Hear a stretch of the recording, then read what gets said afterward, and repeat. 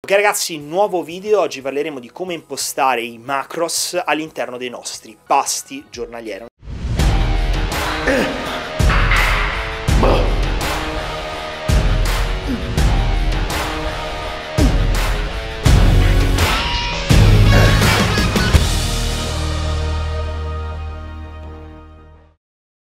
Mi viene fatta spesso e ho fatto due video che credo siano piuttosto interessanti su Rhino Nation, ossia come impostare la dieta nei giorni on e come impostare la dieta nei giorni off.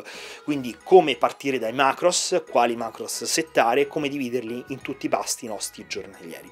Quindi rimando a quei video per entrare molto nello specifico, però per ora vi faccio un po' una presentazione generale, vi do degli spunti di riflessione eh, senza entrare veramente troppo nel vivo e rompere le scatole con il discorso della gestione dei macros. Allora, innanzitutto l'impostazione dei macros un qualcosa che conta, che non conta, bisogna ragionarci. Ecco, il timing dei nutrienti, quello che è definito timing dei nutrienti, ossia come ripartiamo i macros nella nostra giornata, è uno di quei fattori che effettivamente ha un impatto su quello che riguarda le nostre capacità di adattamento e la nostra composizione corporea in generale. Quindi sì, vale la pena tenerne conto. Come dobbiamo fare lo vediamo tra un attimo. Allora, tre macros, carboidrati, grassi e proteine, ragioniamo su questi e partiamo dai carboidrati. Per quanto riguarda i carboidrati, dobbiamo far fronte a quella che è la nostra capacità di gestione dei carbo. Sono il principale nutriente energetico del nostro corpo, soprattutto per noi bodybuilder che facciamo sport anaerobico, quindi sono il macronutriente fondamentale, essenziale, quello che tendiamo e dovremmo tendere ad alzare il più possibile in fasi di bulk e quello che dobbiamo tendere a salvaguardare di più in fasi di cut, perché ci può dare più benefici dal punto di vista di performance, di composizione corporea, di ipertrofia, di condizione sul palco, eccetera, eccetera. Quindi la nostra capacità di gestione di carbo è fondamentale, non basta mangiare tanti carbo, ma dobbiamo anche avere un corpo che riesce a gestirli al meglio, o meglio, il ragionamento in realtà è inverso, il nostro corpo deve arrivare al punto per cui richiede tanti carbo e ha bisogno e può gestire tanti carbo e noi semplicemente dobbiamo darglieli perché arriva a quel punto quando lo stimolo adattamento ipertrofico è massimo. Per cui come eh, impostarlo come gestirli eccetera? Allora tendenzialmente è veramente veramente intuitivo. Vogliamo dare al corpo quello che chiede nel momento in cui lo chiede. Quando è che chiede carboidrati? A ridosso dell'allenamento quindi pre intra e post workout. Questi tre momenti sono fondamentali. Inseriamo un quarto momento che è il post post workout quindi il pasto ancora dopo il nostro post workout, quello successivo.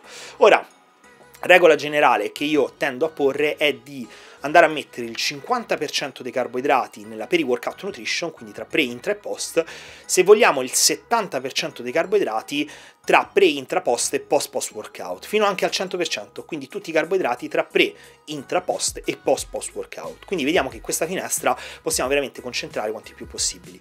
Cosa scegliere tra il 50, 70, 100%? Quanti carbo mangiate? Se state a 400 grammi di carbo, metteteli tutti in questi quattro pasti. Se state a 800 grammi di carbo, inizia a diventare un po' più complesso da un punto di vista di digestione, assimilazione e capacità gastrointestinale.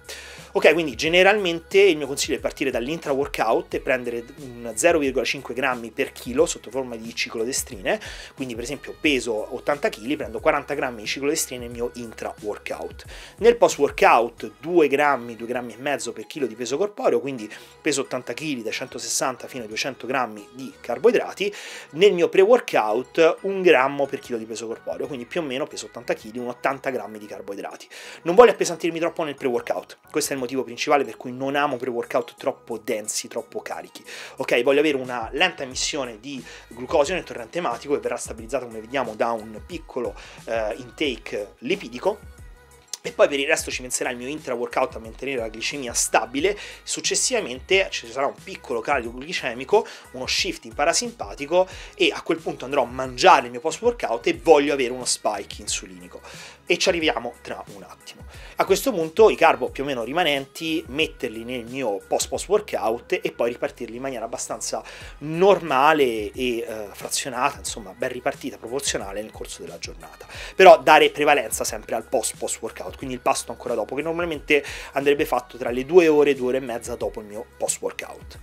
Ok, questo per quanto riguarda i carboidrati. Ora, Parlando di proteine, il consiglio è di dividerle semplicemente in maniera uniforme nel corso della giornata. Ho fatto diversi video riguardo le proteine, quante prenderle, quali prendere, eccetera. Il mio consiglio è di stare tendenzialmente bassi proteine, magari nella peri-workout nutrition stare anche un filo più bassi e implementare con degli aminos essenziali. Quindi io normalmente utilizzo il protesamine nel mio pre-workout, un serving 8 capsule, immediatamente prima di allenarmi, non nel pasto pre-workout, l'unica cosa che prendo immediatamente prima di allenarmi, poi intra-workout le Alphatec, che sono delle idrolizzate con eh, del salmone con un'altissima ritenzione di, di, azoto e un pool aminoacidico fantastico, nel post-workout, subito dopo essermi allenato, di nuovo il protesamine e um, da là nel post workout tendo ad avere poche proteine rispetto agli altri pasti. Però posso semplicemente poi gestirle in maniera uniforme negli altri pasti. Insomma non serve a cervellarsi troppo discorso che faccio io è che più carboidrati mettete nel post workout più volete stare un filo più bassi di proteine per non appesantire troppo da un punto di vista gastrointestinale. Ma dipende anche quanto state digerendo bene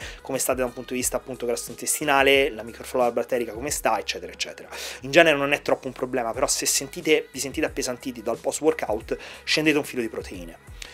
Per quanto riguarda i grassi, anche qua non c'è troppo da ragionare, distribuiteli in maniera uniforme, l'unica cosa è che diminuiteli un filo eh, nel post post workout e nel pre workout in cui comunque devono essere presenti e se possibile toglieteli dal post workout. Ora, qual è la gestione, la razio da un punto di vista di gestione glicemica? Pre workout metto un filo di carboidrati, più o meno un grammo per chilo, quindi ho una emissione nel torrente ematico, carbo anche che siano eh, semplici ad alto indice glicemico, voglio che siano facilmente assimilabili, questo deve essere il concetto, lo vado a fare due ore, tre ore prima di allenarmi, insieme ci metto una fonte proteica e una fonte lipidica non troppi carboidrati. Io normalmente vado a prendere un 20 fino a 40 grammi di pasta di cacao, per esempio, um, di cui magari se vi interessa scrivete qua sotto nei commenti, uh, farò un video specifico e in questo caso avrò una stabilizzazione glicemica, quindi ci sarà questa mole di carboidrati che bene o male mi mantiene la glicemia stabile fino all'allenamento. Dall'allenamento ho il mio intra-workout, quindi vado a mangiare e vado a bere il mio intra-workout e anche qua c'è una buona stabilizzazione glicemica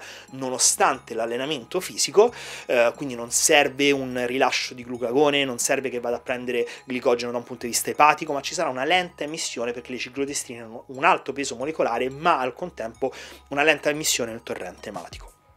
Insieme alle alpha-tech c'è un'ottima stimolazione della proteosintesi, nell'intra-workout ho già fatto dei video quindi non entro nello specifico, a questo punto finisco di allenarmi di nuovo il mio sistema nervoso autonomo da che stava in ortosimpatico shifta pian piano in parasimpatico, utilizzo il magnesio bisglicinato immediatamente dopo per favorire questo shift, una volta che shifta in parasimpatico sto nella miglior condizione possibile per digerire, ok? In questo caso vado a mettere il post workout, molto ricco di carboidrati, io sto più o meno sui 3 etti di cereali, utilizzo cereali perché è l'unica cosa che posso mangiare senza grassi, o cereali o patate, però normalmente essendo la mattina vado ad utilizzare i cereali, faccio una bella bowl di eh, 3 diretti e con le whey e in questo caso voglio non mettere grassi, voglio un forte spike insulinico, o meglio, non spike insulinico, però spike glicemico a cui non corrisponderà un forte spike insulinico. Perché? Perché i GLUT4, i recettori del glucosio, saranno in membrana, quindi tanti carbo entrano e tanti vengono recepiti a livello muscolare. Quindi voglio che ci sia questa forte